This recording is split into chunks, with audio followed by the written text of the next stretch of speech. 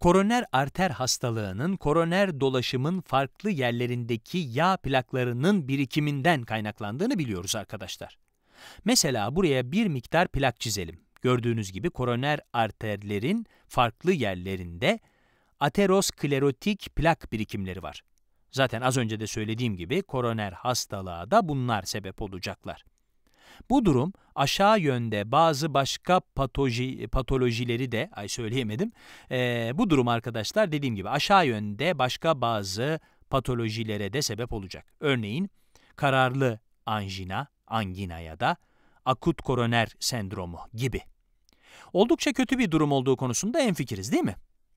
Vücudumuzda koroner arter hastalığının gelişmesi gerçekten de istenmeyecek bir durumdur. Peki bu konuda yapabileceğimiz bir şey var mı? Evet, damarlarımızda plak birikimini engelleyecek ya da durduracak bir şeyler yapılabilir mi? Aslında bakarsanız arkadaşlar yapılabilecek bazı şeyler var. Elbette öyle olmalı dediğinizi duyar gibiyim ama yapılabilecek bir şeyler olduğu her zaman bilinen bir şey değildi. Mesela 1940'lı yıllara gidecek olursak, Framingham Kalp Araştırması adı verilen bir araştırma yapılmış ve bu araştırma çığır açmış. Araştırma sonucunda koroner arter hastalığının gelişimi için bazı risk faktörleri olduğu bulunmuş ama bu araştırmanın esas çığır açan yönü neydi biliyor musunuz?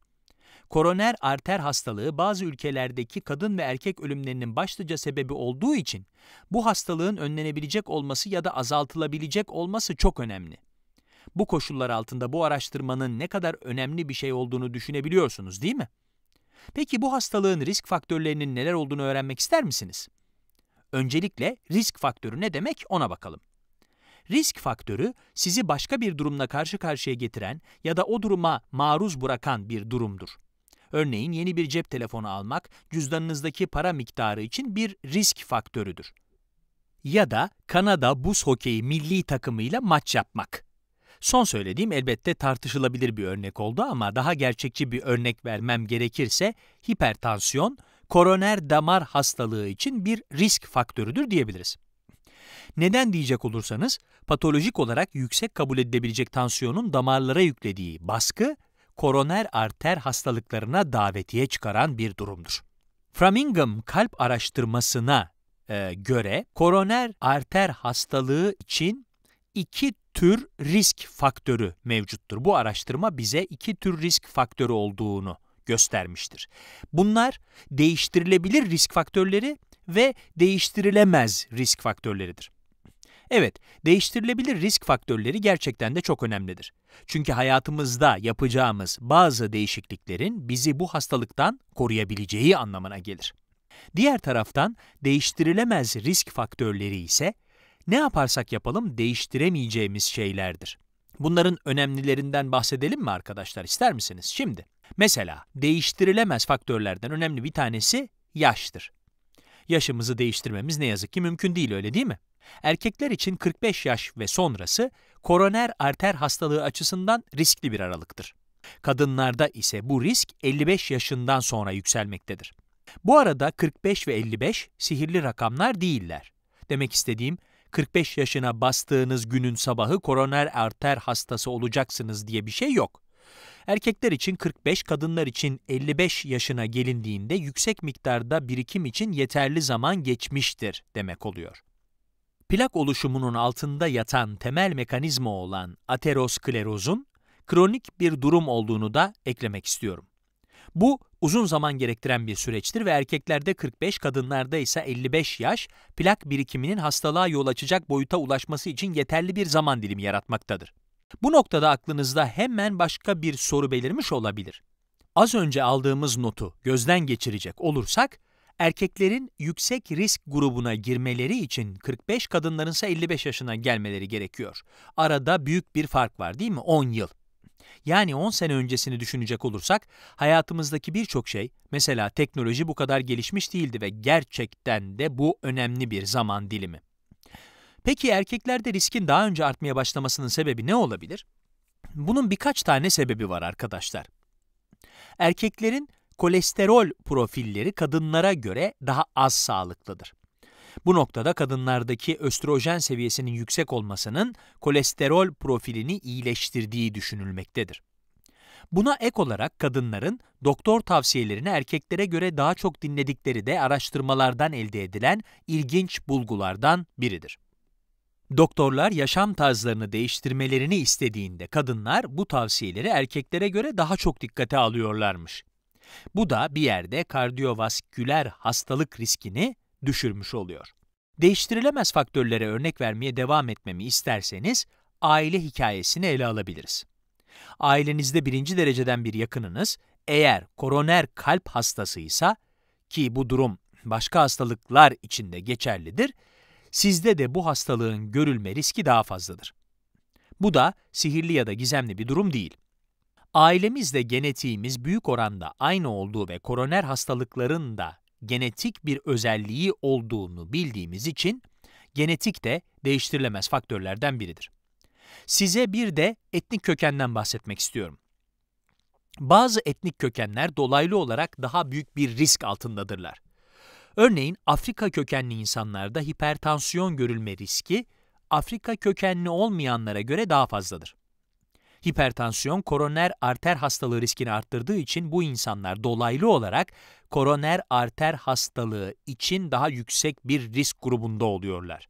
Bunlar değiştirilemez risk faktörlerinden en önemlileriydi. Peki ya değiştirilebilir olanlar? Koroner arter hastalığının istenmeyen bir durum olduğu konusunda hemfikir olduğumuzu düşünüyorum. Peki bu konuda ne yapabiliriz? Engellemek ya da riski azaltmak için yapabileceğimiz bir şeyler var mıdır dersiniz? Elbette var. Bunlardan hiçbiri ateroskleroz veya e, aterom plaklarının gelişimini tamamen engelleyemez. Ama eğer yapılabilecek bir şey varsa, bunları bilmenin ve uygulamanın faydalı olacağını düşünüyorum. Şurada kendime biraz yer açayım, bu sefer farklı renklerde kullanacağım arkadaşlar. Değiştirilebilir olanları bu tarafa yazayım. Evet, kandaki yüksek kolesterol seviyeleri, özellikle de LDL yani kötü kolesterol olarak adlandırılan kolesterol. Ateron plaklarının hasarlı damar duvarlarındaki kolesterol birikimine dayalı olarak geliştiklerini biliyoruz. Bu da kandaki LDL seviyesinin yüksek olmasının hasarlı damar duvarlarındaki birikimi arttıracağı anlamına geliyor. Zaten araştırmalar da yüksek kolesterol, yüksek LDL seviyelerinin değiştirilebilir bir risk faktörü olduğunu ortaya koymaktadır. Yüksek trigliseritler ya da yüksek yağ, serbest yağ asitleri şu anda tüm detaylara girmeyeceğiz ama bazı yağ türleri plak formasyonunu arttıran bazı enzimlerin seviyesini arttırmaktadır. Bunun kulağa biraz kısır bir döngü gibi geldiğinin farkındayım ama bu bilinen bir mekanizmadır.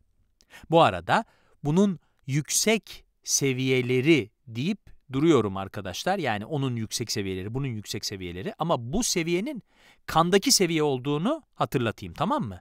Kandaki LDL seviyesi ya da kandaki trigliserit, trigliserit pardon, trigliserit seviyesi demek istiyorum. Tamam mı? Anlaştık mı? Evet. Başka ne var? Hipertansiyon var. Yüksek tansiyonun kan damarlarına hasar vereceğini biliyoruz. Kan bu şekilde damar duvarlarına kuvvetli bir şekilde çarptıkça damar duvarları hasar görecek ve LDL de bu noktada sahneye çıkıp hasarlı damar duvarlarında birikmeye başlayacak.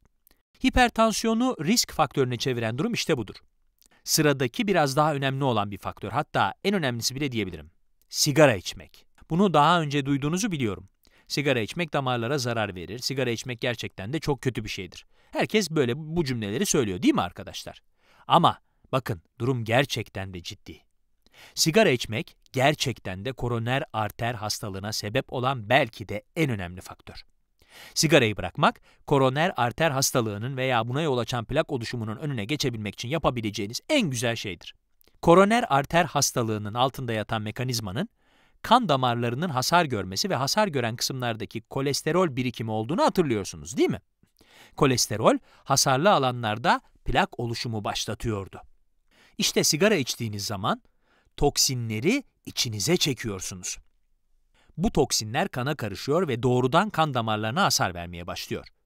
Bu videoda hikayenin kalple ilgili kısmına odaklanıyoruz ancak bu durumun vücudun herhangi başka bir yerinde de ortaya çıkabileceğini lütfen aklınızdan çıkarmayın. Sigara içilince kana karışan toksinler kan damarlarına zarar verecek ve aterom oluşumuna yol açacak. Sigara içmek gerçekten de en büyük ama değiştirilebilir risk faktörüdür. Bunun çok üzerinde durdum ama sigarayı bırakmak işte bu yüzden gerçekten de çok çok ama çok önemlidir. Başka bir faktörden bahsedebilir miyiz? Evet, diyabet. Diyabet çoğumuz tarafından kandaki fazla şekerin yani glikozun farklı vasküler sistemleri etkilemesi sonucu geliştiğini biliyoruz.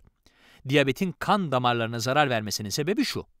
Bu minik glikoz molekülleri kanda kontrolsüz şekilde dolanan glikozlar kan damarlarına tutunurlar ve damarların sertleşip hasar görmesine yol açarlar.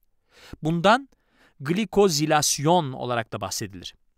Belki yine aynı şeyi söyleyeceğim ama kan damarlarının diyabet yüzünden hasar görmesi bizi koroner arter hastalıklarına yol açan plak oluşumuyla karşı karşıya getirir. Bunlar değiştirilebilir risk faktörleridir. Kandaki şeker seviyesi, kolesterol seviyesi, yağlı beslenme, yüksek tansiyon ve sigara konusunda yapabileceğimiz şeyler var, öyle değil mi? Evet, bunlar değiştirilebilir risk faktörleridir. Yaşam tarzımızı da göz önünde bulunduracak olursak, beslenme alışkanlıklarını değiştirmek ya da sigarayı bırakmak dışında yapabileceğimiz bir diğer şey fiziksel aktivitedir. Her hafta hatta her gün yapılacak fiziksel aktivite koroner arter hastalığı riskini düşürür. Bunun sebebi de egzersiz yapıldığında kandaki şeker ve kolesterol seviyeleri kontrol altına alınır. Vücut yağ yakar, tansiyon da düşer. Sizinle bazı rakamlar paylaşmamı isterseniz istatistiklere de dayanarak şunu söyleyebilirim. Eğer egzersiz yapıyorsanız sigara içme olasılığınız düşer. Evet, hayatınıza egzersizi dahil ederseniz, koroner arter hastalığı açısından risk anlamına gelen bu faktörleri kontrol altına alıyorsunuz demektir. Eğer obezseniz ya da fiziksel aktivite seviyeniz düşükse, bu etmenlerin hepsi yeniden gündeme gelip riski arttırıyor. Evet, değiştirilebilir ve değiştirilemez risk faktörleri konusunda söyleyeceklerim bu kadar. Ama videoyu bitirmeden size ilgi çekici bir bilgi daha vereceğim. Akut koroner sendromun sebeplerinden birinin ateroskleroz yani plak birikimi olduğunu biliyoruz. Akut koroner sendromun oluşmasına yol açan şeylerden bir diğeri ise kokain ya da amfetamin kullanımıdır. Size bundan da bahsetmek istedim çünkü bu koroner arter hastalığı ile ilgili olduğu kadar akut koroner sendromla da alakalı bir durumdur. Kokain damarların vazospazmına yol açar arkadaşlar. Vazospazm, vazospazm, ay söyleyemedim, vazospazm, damarların spazm geçirmesi yani büzüşmesi ve kapanması anlamına gelir. Kokaini beyazla yazmamın da herhangi bir belirli sebebi yok, anlaştık mı? Bunun sonucunda kan akışı engellenir, öyle değil mi? Ve bu da bir nevi plakla aynı durumun ortaya çıkmasına sebep olur. Aşağı yönlü kan akışı engellenir ve akut koroner sendrom da bu şekilde ortaya çıkar.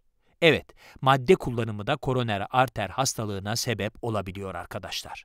Aman dikkat, bunları hayatımızdan uzaklaştıralım, silelim, hiç kullanmayalım, adını bile geçirmeyelim, kalbimiz sağlıklı kalsın. Bu da benim size bir arkadaş tavsiyem olsun.